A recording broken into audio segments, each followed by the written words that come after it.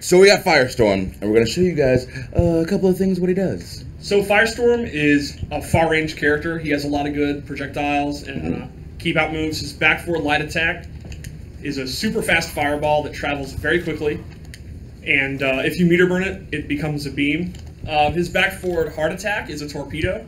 His character power is his nuclear level, and it has three levels. You can see it near your life bar. If you hit circle, blue flames. Nice. Clear. I like that a lot. your, your character power is level three right now, so Okay, burn that. there you go. Now it's time to go. Oh no! It's time to go. No, it's not. No, it's not. Clear. Ah!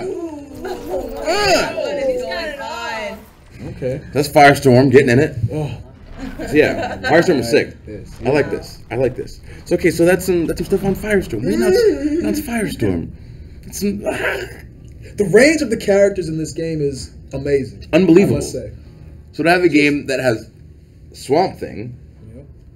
and it has Firestorm, Yeah. Mm-hmm. like it's not stuff that you think, oh, here I got a PlayStation controller in my hand, I can have this fight now. Cool. And then his special maneuver.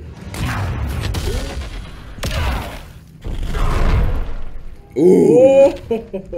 Mm. What? What? What? That's so sick. With all the atoms. Oh my. Down to the knees. Oh, Yeah. Bow down, bow down. oh gosh.